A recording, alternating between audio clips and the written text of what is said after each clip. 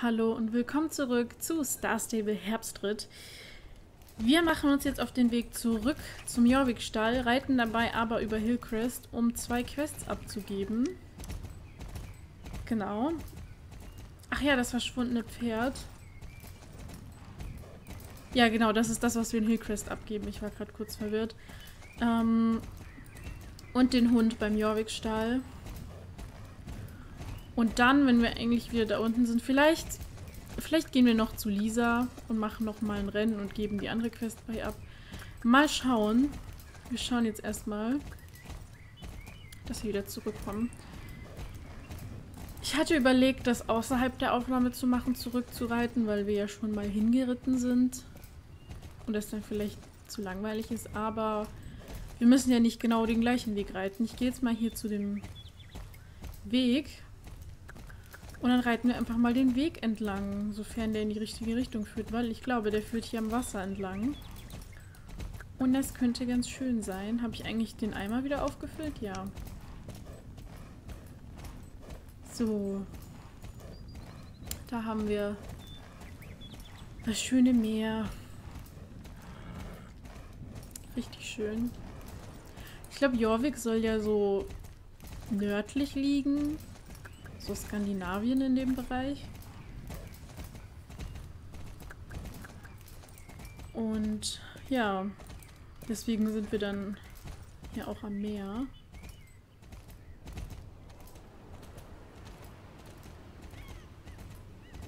So ganz im Norden wahrscheinlich.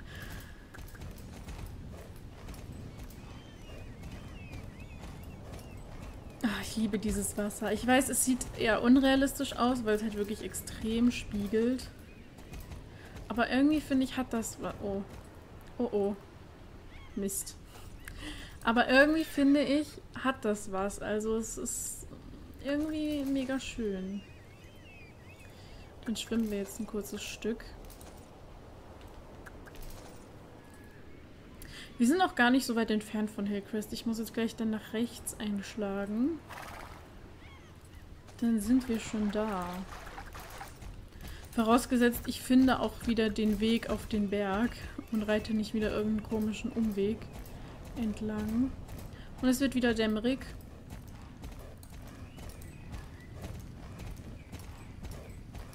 Wären wir jetzt in Star Stable Online, dann wäre hier... Nee, Moment, dann wäre... Hier Südhof. Ist zwar ein bisschen kleiner als Südhof, aber ja. Und da hinten Nebel. Oder wäre da Nebelfall? Nee, Nebel. Doch, Nebelfall wäre dann hinter uns. Da. So ungefähr. Stimmt ja nicht so ganz überein hier. Ich speichere mal jetzt noch nicht. Ich glaube, das mache ich dann in Hillcrest. Also abspeichern, schlafen gehen, damit es wieder hell wird, weil noch geht es ja. Und ich finde das auch irgendwie schön. Dämmerung. So, wir sind ganz nah. Jetzt müssen wir nur den richtigen Weg nach oben finden. Ich sehe es sogar schon da. Ähm, weil wir haben ja gelernt, wenn wir einfach so drauf los da hochreiten, das funktioniert nicht. Ich muss nur den Weg finden.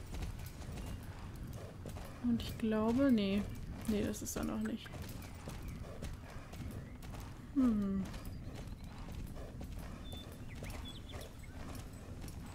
War hier nicht irgendwo ein Weg? Jetzt reite ich ja nämlich wieder komplett weg, aber... Es gab ja zwei Wege nach oben. Ich dachte, der eine ist jetzt hier irgendwo. Doch, ich glaube, der ist hier. Oder? Ach man, wo ist denn der? Der muss doch hier jetzt sein. Hier, das sieht nach einem Weg aus. Ich glaube, hier ist er. Unser Pferd ist schon wieder am Verdursten. Nee, das ist auch doch kein Weg. Hä, das sah gerade aus wie ein Weg. Wo ist denn der Weg? Ist er hier? Ja, das ist jetzt aber ein Weg. Das ist jetzt ein Weg. so, haben wir den Weg auch gefunden. Sind wir gleich da. Jetzt kommt diese Schrift mit dem, dass das Pferd sich nicht wohlfühlt. Ja, jetzt wo das komplett leer ist. Aber wir speichern ja gleich ab. Und dann versorgen wir das Pferd.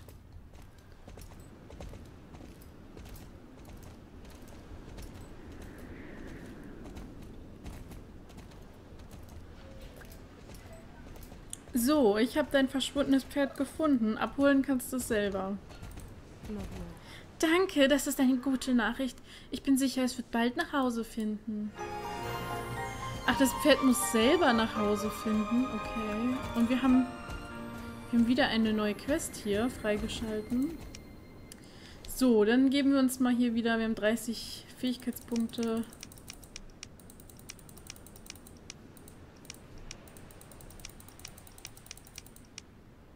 So.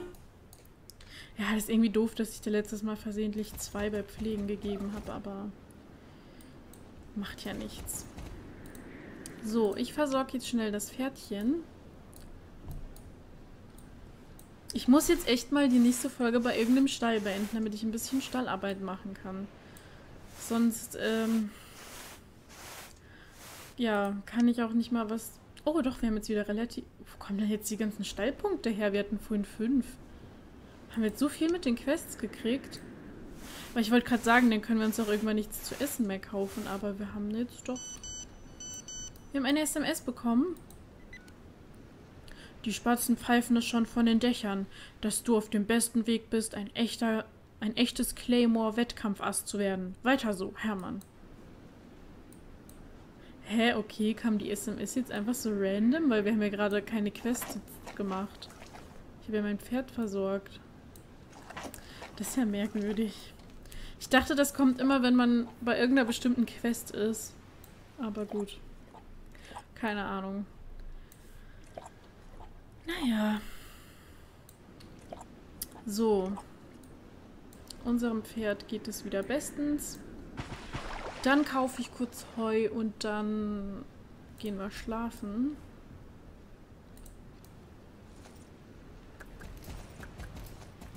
Es, es geht auch viel schneller los, wenn es versorgt ist. Also es reagiert dann viel besser.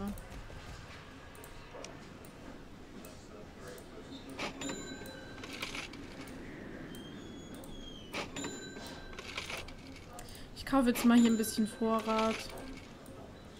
Dann reicht das auch eine Weile. Es ist so doof, dass man das nicht stapeln kann.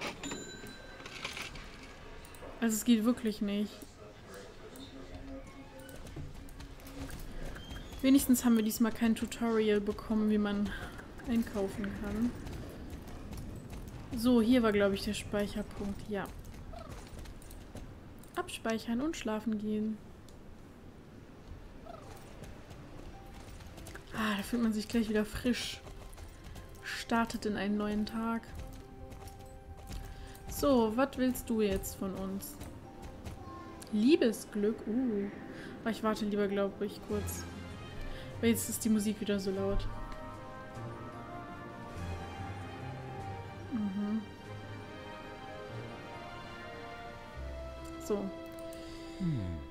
Ich habe da eine Idee. Könntest du dieses Hufeisen zu Mrs. Masterson bringen? Du weißt schon, die nette Lady, die im Haus am Fluss wohnt. Ach, die heißt Mrs. Masterson, okay. Jetzt, wo Mrs. Barnabas ihr den... Äh, Mist... Jetzt, wo Mr. Barnabas ihr den Hof macht, wird sie viel Glück brauchen.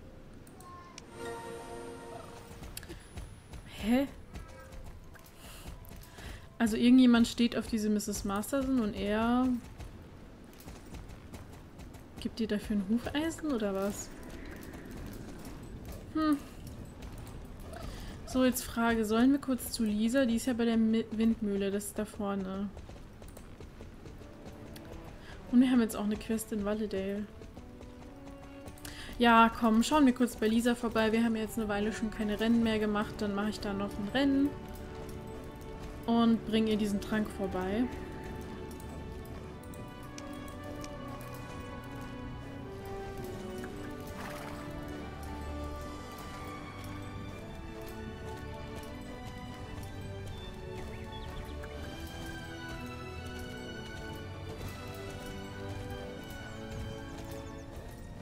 Also ich weiß, im Video kommt die Musik nicht so laut rüber, weil ich die halt immer leise stelle.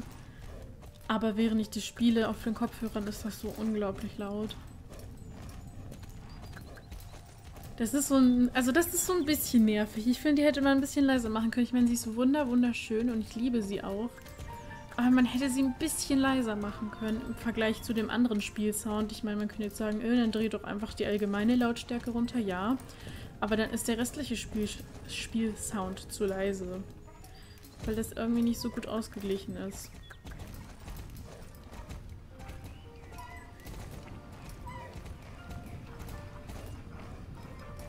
So. Mir ist auch aufgefallen, also das habe ich letztes Mal irgendwie gar nicht richtig bemerkt, aber die Soul Raider haben ja eigentlich ihre Pferde, Tinkan, Meteor und so weiter und neben denen stehen, ach, das wäre so laut, neben denen stehen einfach irgendwelche random Pferde, also das ist ja wohl nicht Tinkan. Ich glaube nicht, dass er das sein soll und neben äh, Linda stand ja auch irgend so ein graues Pferd, das unserem sehr ähnlich aussah, das sieht ja auch nicht aus wie Meteor. Finde ich ein bisschen... Ah, nee, warte, sie hat nicht Tinkan, sie hat Starshine. Entschuldigung, ich habe mich jetzt... Ähm genau, das sieht nicht aus wie Starshine, weil wir wissen, Starshine ist weiß. Also, wer ist dieses Pferd? Das ist nicht Starshine. Stimmt, Alex hatte Tinkan. Habe ich mich gerade vertan. Vielen Dank. Das ist genau das, was mein Pferd zum Gesundwerden braucht. Es hat eine hartnäckige Erkältung, aber dieses Mittel wird ihm jetzt bestimmt helfen. Meinst du wirklich, ihr seid schon fit für die Silbermedaille? Du und dein Pferd? Andernfalls könnte die Täuschung groß sein. Na klar, das schaffen wir. Drei Minuten haben wir. Das müssten wir locker schaffen. Und ich glaube, ich mache auch gleich schon Gold, wenn wir das schon hinkriegen. Aber ich denke schon, weil die Zeit ist ja hier ähm, nicht zu knapp bemessen. Ähm, dann machen wir gleich noch Gold, weil ich glaube, dass wir dann keine Quests mehr bei Lisa haben. Dann müssen wir nicht mehr diesen Schlenker hier nach hinten reiten. Wobei bei dem Leuchtturm könnte noch eine Quest sein. Ich bin mir nicht mehr sicher. Es gibt hier ein paar Leuchttürme. Und bei zwei oder so war, glaube ich... Huch, wo reite ich denn jetzt lang? das ist jetzt richtig dumm. Ähm, und bei zwei, glaube ich, sind auch noch Quests. Aber wie gesagt, es gibt hier auch viele Orte, die man, äh, bei denen es gar keine Quests gibt, die man einfach nur durch Rumreiten erkunden kann. Das habe ich ja schon mal gesagt. Da werde ich jetzt aber hier im Rahmen der Videos jetzt nicht unbedingt hinreiten, weil das jetzt auch nicht so spannend ist. Das ist dann mehr was für jemanden, der das Spiel alleine spielt und für sich erkunden möchte.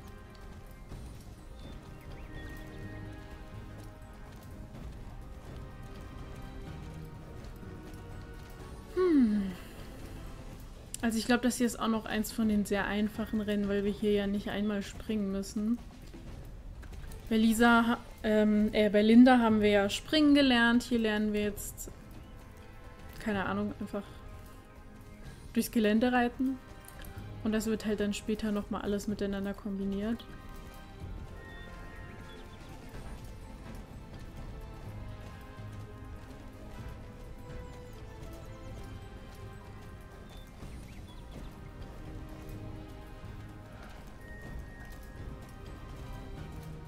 So, also wir brauchen ungefähr zwei Minuten für einen, einen Durchlauf, wobei ich ja jetzt vorhin auch gegen diesen Baum geritten bin, also eigentlich eher weniger. Dann schaue ich jetzt mal, was wir für Go Gold für Gold äh, machen müssen.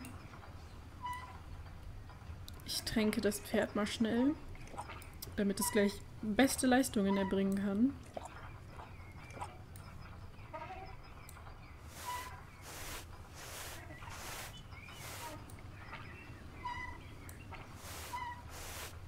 So. Füttern tue ich jetzt nicht. Das ist ähm, nicht nötig und kostet Geld. Sehr gut. Ausgezeichnet sogar, muss ich echt zugeben. Hier ist die Silbermedaille. Jetzt brauchst du nur noch Gold. Ja, wir haben noch keine einzige goldene. Wir müssen mal hier... Welche waren das jetzt? Das oder das? Ne, das hier wahrscheinlich, weil hier springen wir ja. Und das ist das bei Hermann noch. Ja, machen wir gleich Gold. Das ist jetzt die schwierigste Etappe auf dieser Strecke. Meistens muss ein Neuling jahrelang trainieren, um diese Zeit zu schaffen. Aber du hast bisher schon so gute Leistungen gezeigt, dass ich es dich versuchen lasse. Viel Glück. Jahrelang trainieren? Ich, äh, ich glaube eher nicht. 2 Minuten 30, ja, also das schafft man ja wohl locker. Also jahrelang trainieren ist ein bisschen übertrieben. Ich meine, wie gesagt, wir sind vorhin kurz gegen den Baum geritten und haben es trotzdem unter zwei Minuten geschafft.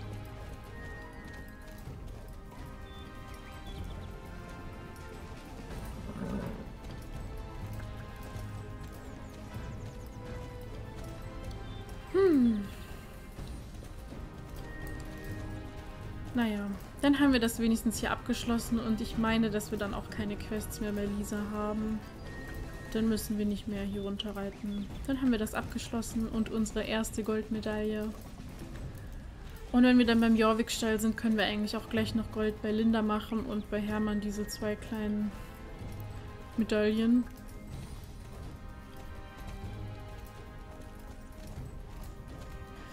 Dann haben wir schon, ja, schon fast die Hälfte.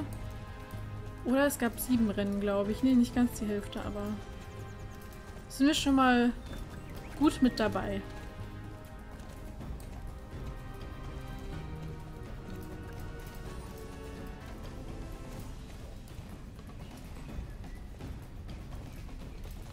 Ja, ich würde auch generell nicht empfehlen, die Medaillen alle hintereinander zu machen. Das ist ein bisschen langweilig.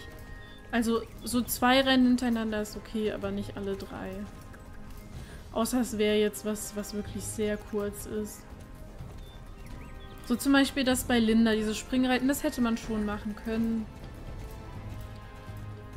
Aber so lange Strecken ist dann, macht dann irgendwann keinen Spaß mehr. So, bam, 1,46. Geschafft.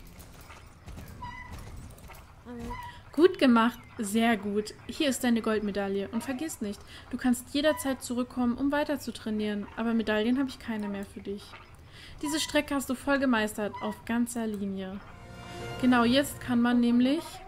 Oh, du bist in Trainingslaune, das wird deinem Pferd bestimmt gut tun. Nur los, die Strecke gehört dir. Jetzt kann man nämlich das Pferd leveln. Wenn das so blau ist, dann bekommt das hier...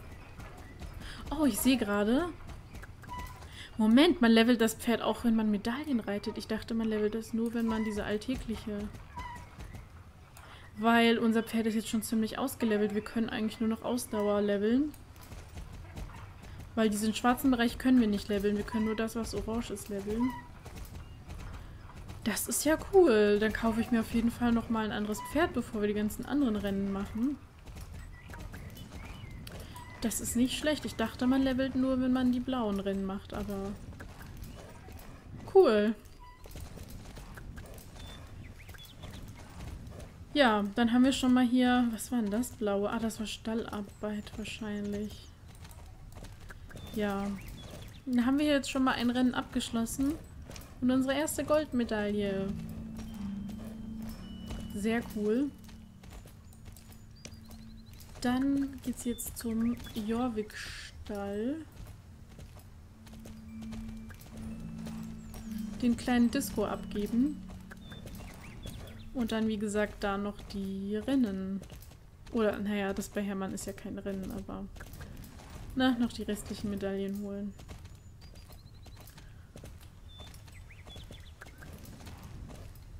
Ich will eigentlich... Moment, jetzt reite ich ja hier wieder hoch. Hier will ich ja gar nicht hin.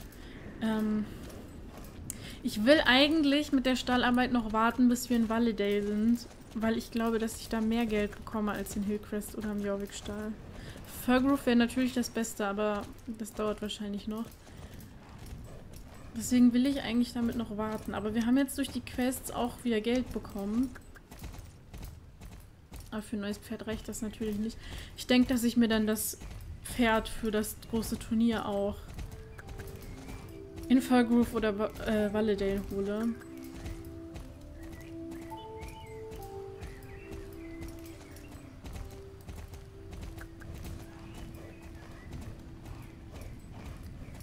Wobei ich das hier echt hübsch finde. Also ich mag das Pferd total, aber es ist halt... Ja, Anfängerpferd.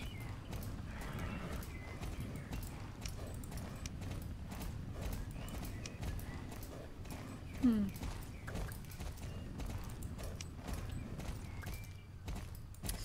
Naja. So, wir sind gleich da, erkennbar in diesem riesigen Felsen, den man hier immer sieht. Das ist immer so der Orientierungspunkt. Wenn man den sieht, weiß man, ah, da ist der Jorvik-Stall.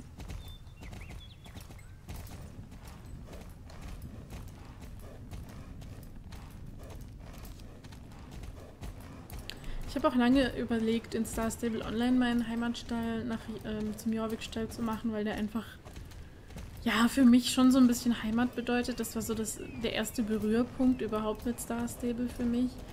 Ähm, aber in Star Stable Online macht das nicht so viel Sinn, weil das halt schon irgendwie im Rand ist. Und deswegen bin ich da schon seit Jahren bei Steves Farm. So, Moment, zu dir wollte ich jetzt noch gar nicht. Ich wollte erst zu der Tierärztin.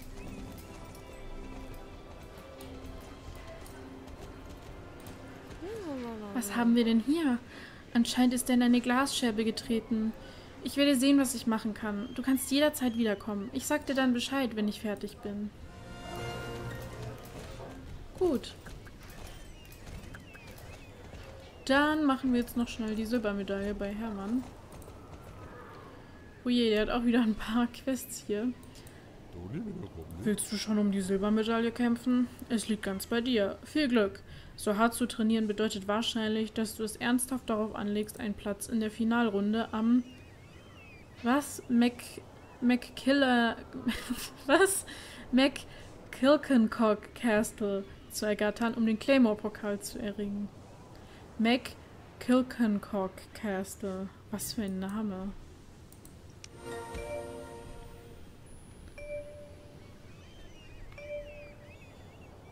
So, diesmal passe ich aber besser auf, dass ich nicht wieder gegen diesen Futtertrog da reite.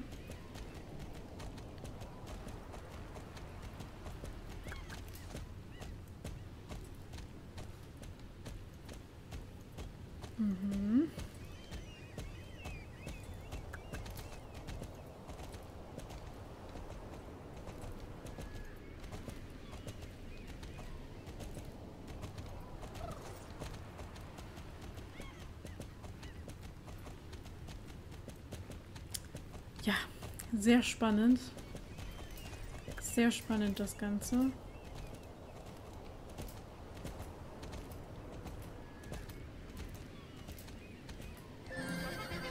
So. Entschuldigung. Dann haben wir jetzt Silber im Grundkurs. Perfekt, wirklich ausgezeichnet. Hier ist deine Silbermedaille. Ich gratuliere. Und wir sind wieder ein Level gestiegen. Ja, vergeben wir doch gleich mal Punkte.